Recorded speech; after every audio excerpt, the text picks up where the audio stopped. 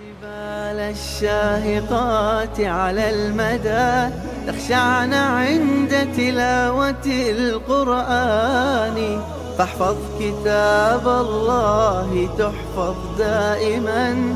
ما أسعد الحفاظ في الأزمان. أعزائي المشاهدين السلام عليكم ورحمة الله وبركاته. أهلا وسهلا بكم في تغطية جديدة وهذه المرة مع مسك الختام الحفل الختامي لمسابقة الملك عبد العزيز الدولية لحفظ القرآن الكريم وتلاوته وتفسيره في دورتها التاسعة والثلاثين. هذا الحفل يقام برعاية خادم الحرمين الشريفين الملك سلمان بن عبد العزيز حفظه الله. وبحضور وتشريف صاحب السمو الملكي الأمير عبد الله بن بندر بن عبد العزيز أمير منطقة مكة المكرمة بالإنابة.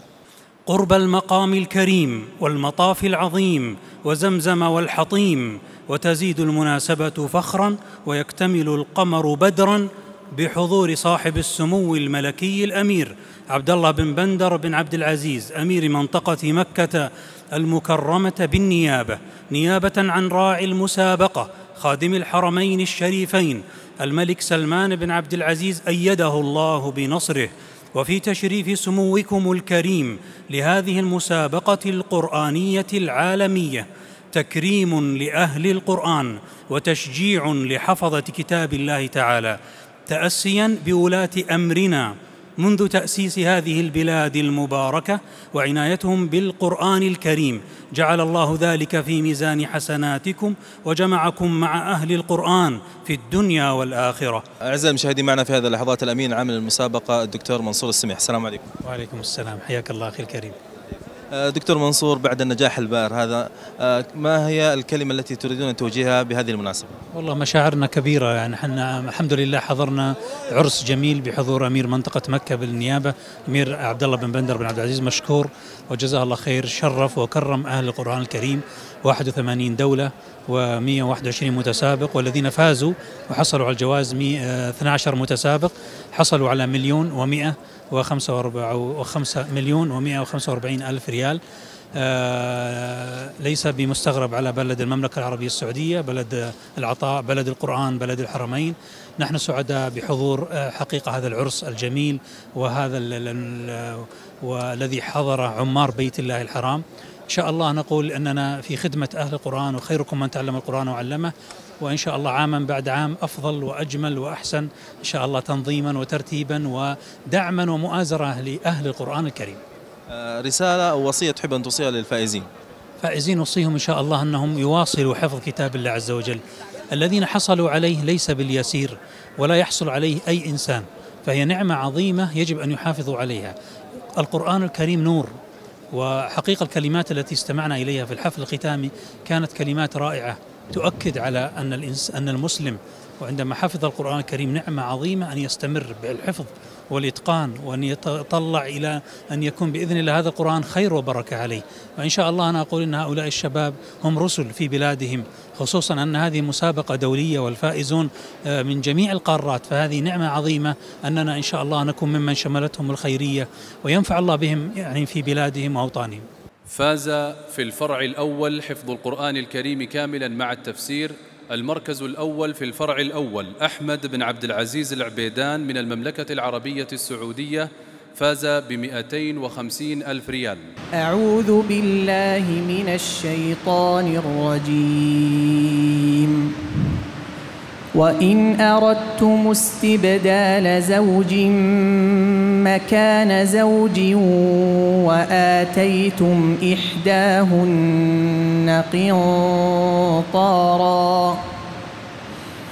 وآتيتم إحداهن قنطارا فلا تأخذوا منه شيئا أتأخذونه بهتانا وإثما مبينا وكيف تأخذونه وقد أفضى بعضكم إلى بعض وأخذن منكم ميثاقاً وأخذن منكم ميثاقا غليظا. ولا تنكحوا ما نكح آباؤكم من النساء إلا ما قد سلف. إنه كان فاحشة ومقتا وساء سبيلا. أعزائي المشاهدين معنا في هذه اللحظات الفائز الأول بالفرع الأول بمسابقة الملك عبد العزيز. السلام عليكم. السلام ورحمة الله وبركاته. أهلا وسهلا. أولا عرفنا بنفسك ومن أي دولة؟ آه، أحمد بن عبد العزيز بن إبراهيم عبيدان ممثل المملكة العربية السعودية في المسابقة الدولية في الفرع الأول. شعورك يا أحمد وأنت حاصل أو حاصل على المركز الأول في الفرع الأول. اللهم لك الحمد. شعور يعني آه، لا يوصف. الحمد لله أكرمني الله بهذا المركز. في الحقيقة كان آه، أمنية لي لكنها تحققت ولله الحمد. أسأل الله أن يرزقني إخلاص في القول والعمل وأن يعيني على تحمل هذه المسؤولية. لمن تهدي هذا الفوز؟ والله أهدي هذا الفوز أولا لوالدي الكريمين ثم أهدي هذا الفوز لبرنامجي الماهر. يعني لولا الله ثم هذا البرنامج لما وصلت إلى هذه المرحلة هو اللي يعني هو الذي بدأ معي في أول مشواري وأهلني من حيث حسن الأداء والتجويد والإتقان والتفسير وكلمة شكر لمن توجهها؟ كلمة شكر للقائمين على هذه المسابقة في الحقيقة هذه المسابقة آه، في أطهر بقعة في الأرض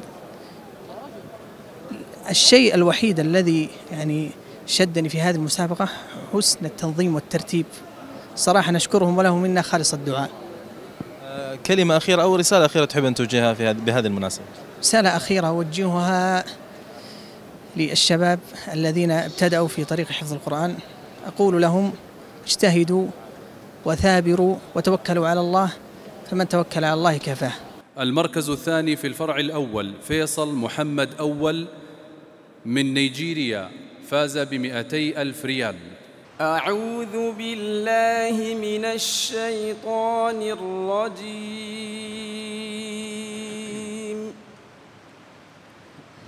بسم الله الرحمن الرحيم. فكيف إذا جمعناهم ليوم لا ريب فيه ووفيت كل نفس ما كسبت وهم لا يظلمون. قل اللهم مالك الملك تؤتي الملك من تشاء وتنزع الملك ممن تشاء وتنزع الملك ممن تشاء وتعز من تشاء من تشاء بيدك الخير.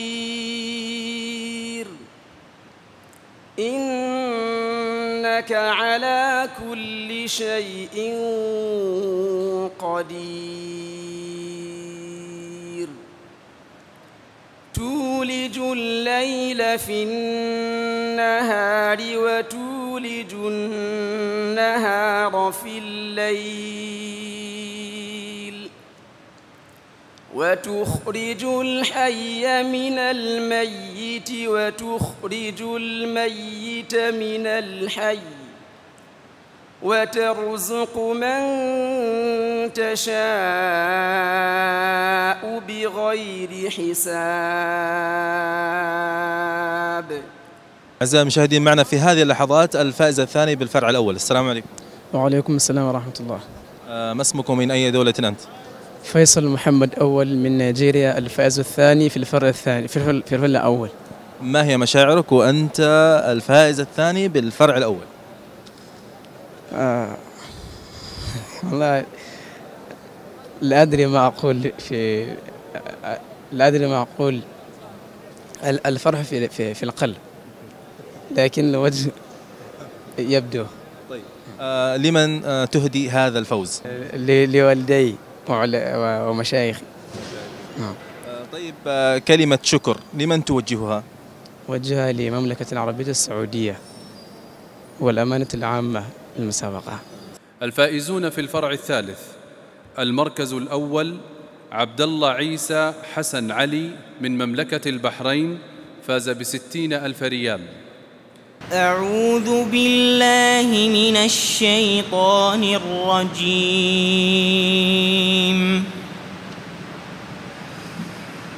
ولقد خلقنا فوقكم سبع طرائق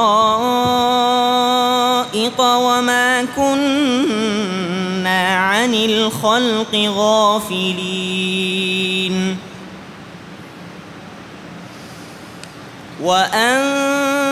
وأنزلنا من السماء ماء بقدر فأسكناه في الأرض وإنا على ذهاب به لقادرون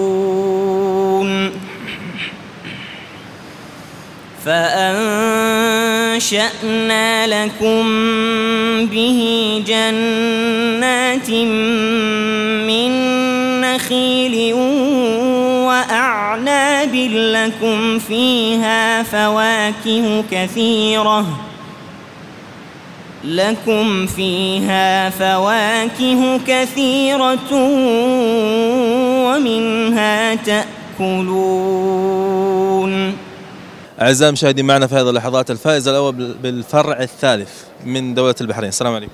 السلام ورحمة الله وبركاته يا شيخ. مشاعرك آه، في هذه اللحظات وأنت الفائز أو الفارس الأول بالفرع الثالث. بسم الله والصلاة والسلام على رسول الله وعلى آله وصحبه ومن والاه. وبعد آه، طبعا شاركت مسابقة الملك عبد العزيز باختيار من وزارة الشؤون والأوقاف في مملكة البحرين. الحمد لله تأهلت أني أشارك في مسابقة الملك عبد العزيز. وصراحة المنافسة كانت قوية لكن الحمد لله يعني الله وفقنا في التصفيات الأولى في التصفيات النهائية أيضا وطلعنا المركز الأول فالحمد لله يعني. كلمة لمن أولا لمن تهدي هذا الفوز؟ وجه الفوز لي خصوصا الوالدين واستاذي اللي حفظني القرآن الكريم الحمد لله. كلمة شكر لمن توجهها؟ وجه كلمة شكر للعاملين على هاي المسابقة واللي نجحوها ولخادم الحرمين الشريفين على دعمه للمسابقات وعلى لحفاظ القرآن الكريم في المملكة العربية السعودية. أعزائي المشاهدين وصلنا وإياكم إلى مسك الختام ختام مسابقة الملك عبد العزيز الدولية لحفظ القرآن الكريم وتلاوته وتفسيره في دورتها التاسعة والثلاثين. هنا انتهت تغطيتنا ورسائلنا. نلقاكم بإذن الله في تغطيات ورسائل جديدة قادمة. نستودعكم الله والسلام عليكم ورحمة الله وبركاته. الشاهقات على المدى تخشعن عند تلاوة القرآن. فاحفظ كتاب الله تحفظ دائما. ما أسعد الحفاظ في الأزمان.